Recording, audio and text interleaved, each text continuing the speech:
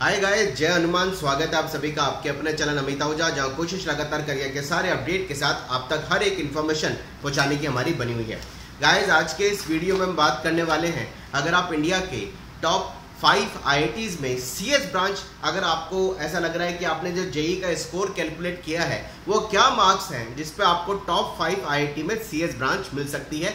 या इसको मैं अगर ऐसे बोलूँ, ऐसे आपका क्या वो सेफर स्कोर है, जो आपने अभी जेई के 360 में से जो आपके मार्क्स आए हैं, उस पर आप मान सकते हैं कि आपको टॉप फाइव आईआईटी में सीएस ब्रांच मिल सकती है।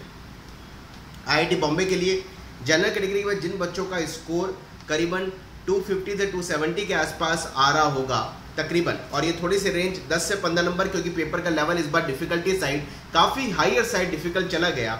इसलिए 10 से 15 नंबर का डिफरेंस आप इसमें रेंज वाइज ज़रूर लेके चलिएगा। तो जिनका स्कोर 250 से 270 और 270 अबव आ रहा है, उन बच्चों को बॉम्बे में सीएस मिलने की संभावना बन रही है। ओबीसी कैटेगरी में जिन बच्चों का स्कोर 225 अबव आ रहा है, उन बच्चों को सीएस मिलने की आईआईटी बॉम्बे में संभावना है। ईडब्ल्यूएस e में जिन बच्चों का स्कोर करीबन 230 से ऊपर आ रहा है, उनको कहीं ना कहीं आईआईटी बॉम्बे में सीएस मिलने की संभावना है।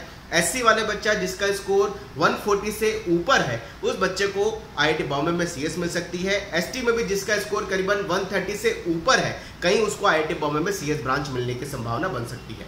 आईआईटी दिल्ली की अगर मैं बात करूँ जिन बच्चों का स्कोर 240 से 230 भी अगर इसको थोड़ा बहुत बोले 230 से 250 के आसपास कुछ आ रहा है, उनको आईआईटी दिल्ली में सीएस मिल सकता है, जनरल कैटेगरी को। ओबीसी के बच्चों को जिनका स्कोर 210 से 220 के आसपास आ रहा है, फिर बात रिपीट करूँगा 10 टू 15 मार्क्स 10 से 15 नंबर का डिफरेंस आप हाइयर साइड और लोअर साइड ज़रूर कैलकुलेट करके चलिएगा, क्योंकि इतना डिफरेंस आ जाएगा। ओबीसी में जिनका स्कोर 210 से 220 ईडब्ल्यूएस में जिसका स्कोर 200 से 210 एससी में जिसका स्कोर 130 से 140 एसटी में जिसका स्कोर 110 से 120 आ रहा है, उसको आईआईटी दिल्ली में सीएस ब्रांच मिलने की पॉसिबिलिटी है। अब बात करें इंडिया के अगले टॉप थ्री टू फाइव आई में आईआईटी मद्रास, कानपुर और खड़गपुर में। जिन बच्चों का जनरल कैटेगरी है, जिनका स्कोर करीबन टू थर्टी से टू ट्वेंटी से 230 या 210 से 230 मान लीजिए आप जनरल में जिनका स्कोर आ रहा है, उनको आईआईटी मद्रास, कानपुर और खड़गपुर में सीएस मिल सकती है। ओबीसी में जिनका स्कोर 200 से 210 के आसपास है ईडब्ल्यूएस में 200 से 210 एसटी में जिनका स्कोर 120 से 130 और एसटी में जिसका स्कोर 110 से 12 आ रहा है 110 से 120 आ रहा है एसटी में जिनका स्कोर उनको मद्रास, कानपुर और खड़गपुर में सीएस ब्रांच मिलने की संभावना बन सकती है। हालाँकि ये जो मार्क्स की थोड़ी सी रेंज है, ये 10 से 15 नंबर हाइयर साइड और लोअर साइड डिफरेंस ज़रूर आएगा, क्योंकि पेपर का लेवल इस बार बहुत ज़्यादा अच्छा है।